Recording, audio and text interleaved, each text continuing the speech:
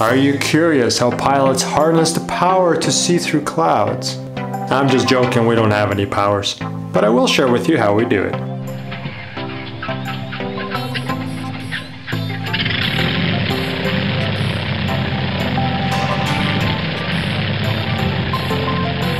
Welcome back aviators! This week I'm going to talk about the tools we use to safely fly through clouds. If you're new here, consider subscribing, hit the like button if you find this information useful. Let's jump right in. So the simple answer is we use our instruments. But what does that mean?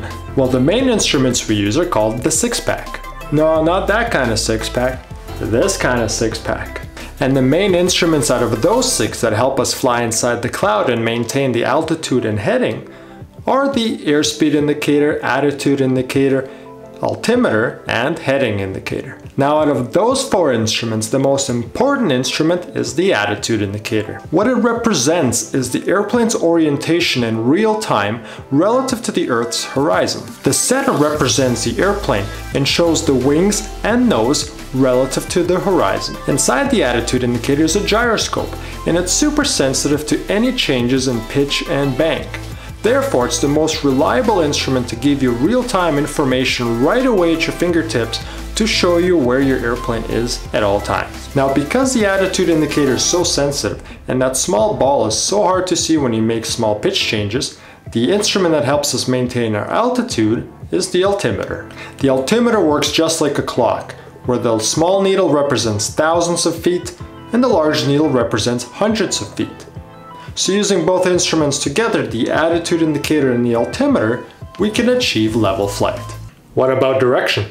That's right, we still have to navigate our airplane to get to the destination. This is where a third instrument comes in to complete the package. It's called the heading indicator and it looks like a compass. You simply need to turn your nose on the desired heading and off you go. So it's the combination of these three instruments that is the basis of instrument flying when you have zero outside reference or even during hours of darkness. Bigger and more advanced airplanes have electric flight instruments and they usually combine them into a single display. This saves space and allows a display to be multi-use, which presents a lot more information to the pilot than ever before. The basics of instrument flying is you use these three instruments to scan back and forth between them to make sure you're flying straight and level. You go from the attitude indicator to the altimeter, back to the attitude indicator, down to the heading indicator, back up to the attitude indicator.